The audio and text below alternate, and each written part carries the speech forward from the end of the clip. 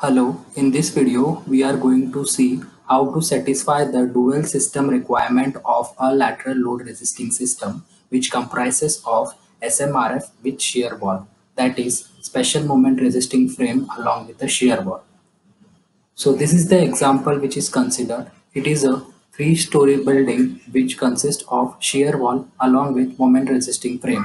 These shear walls are distributed symmetrically along the four sides of this building as it can be seen in this plan. Now, in order to satisfy the dual system requirement of a building, it should be made sure that about 25% of the total base shear is independently taken up by the moment resisting frame and the shear wall should take at least 75% or maybe less than that. So how to satisfy this requirement we will be seeing just in a minute. So this is the three-dimensional view of the building as it is modeled in ETABS and it can be seen here that uh, the shear walls are distributed uniformly along the four sides of the building.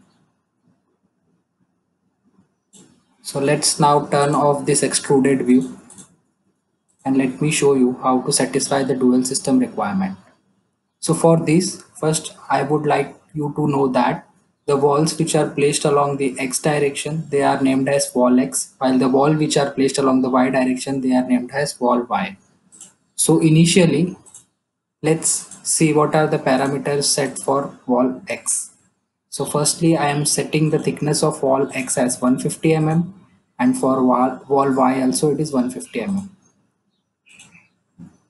Now let's analyze this building or the model for equivalent lateral load analysis. So I have now run the analysis and let's see what happens.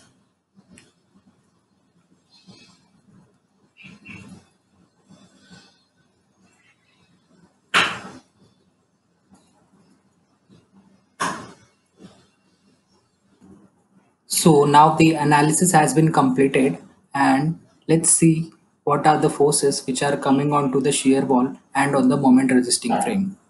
So one thing I would like you to tell that we cannot independently know what are the forces which are coming onto the moment resisting frame. Instead, we can know the forces which are coming on the shear wall. So in order to know the forces which are coming on the shear wall, we have to uh, give the shear wall the label of Piers. So I have already done it before running this analysis.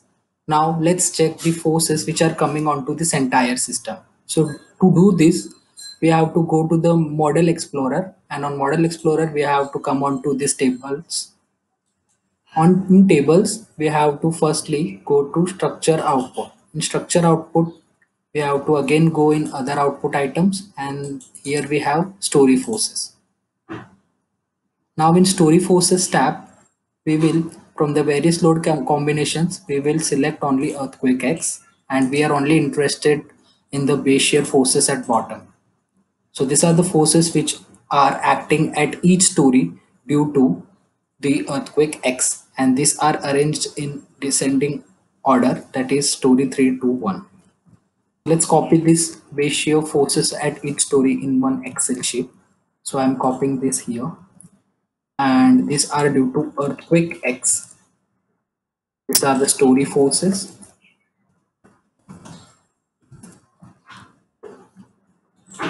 And uh, here I will be putting up the pier forces or we can call it as the shear wall forces. Forces which are taken up by the shear wall. So let's similarly do it for earthquake Y also so that we don't have to come here again and again. So i will do it for earthquake y. And copy it here.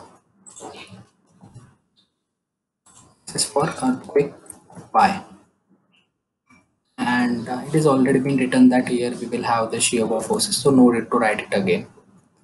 Now let's find the forces which are taken up by the shear walls so for that we have to go to element output.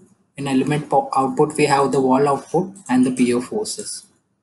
So similarly here also, firstly we will seeing the shear forces on the wall X and at the bottom and due to earthquake X.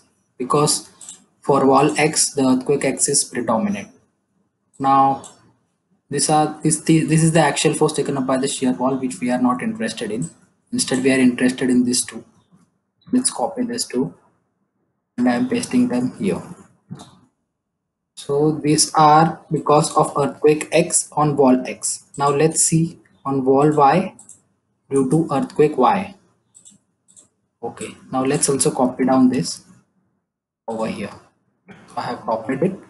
Now let's see what are the forces total or the net forces which are taken up by the shear wall. So it will be simply this plus this. These are the two forces which are taken up by the shear wall. And I, I will drag it down here also.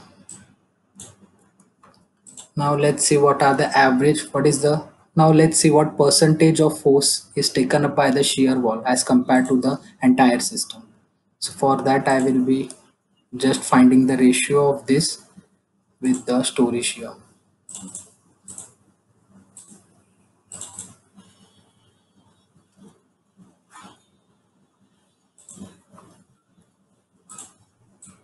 I will drag it down for the other.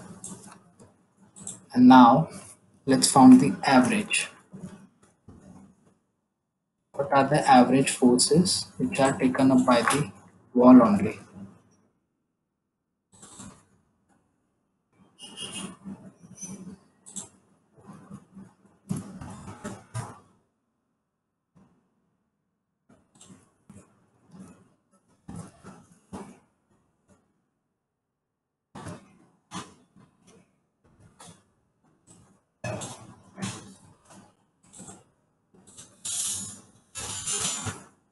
Here it can be seen that the shear wall in y direction they are taking 77 percentage of the base shear while the shear wall in x direction they are taking 83 percentage of the base shear.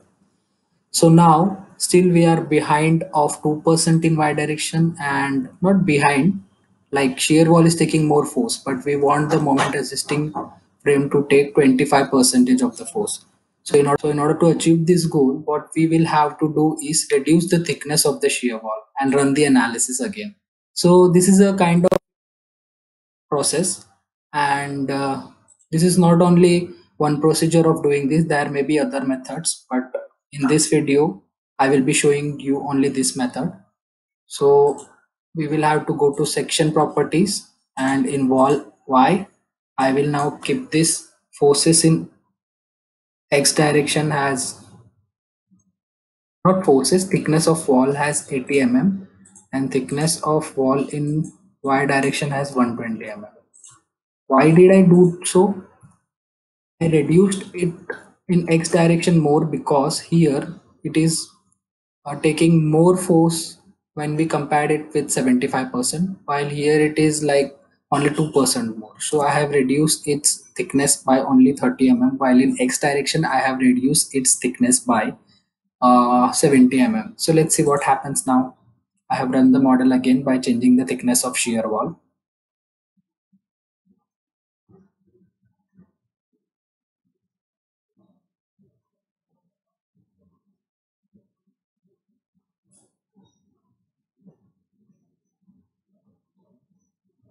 Okay, the analysis has been completed again. And now let's see what are the forces which are taken up by the story. Story forces.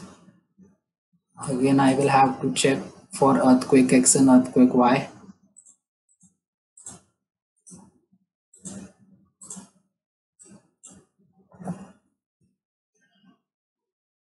This was for earthquake X, so I will paste it in earthquake X.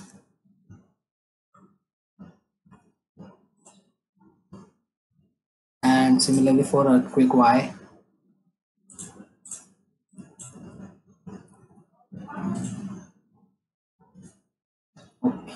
Now let's see what are the forces taken up by the wall.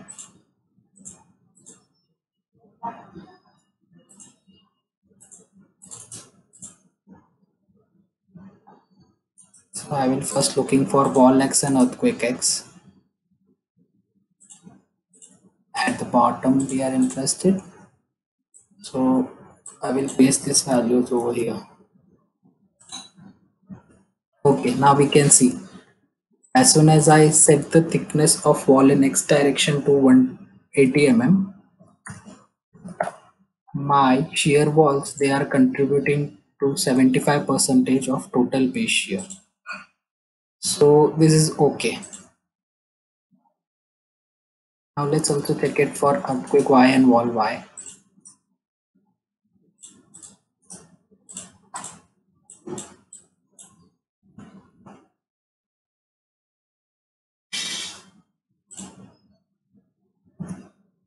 Okay, so this is taking 76%, which is also somewhat okay.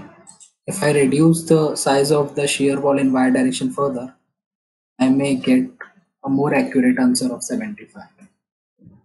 So this was all about it. In this way, we can actually ensure the duality of the system.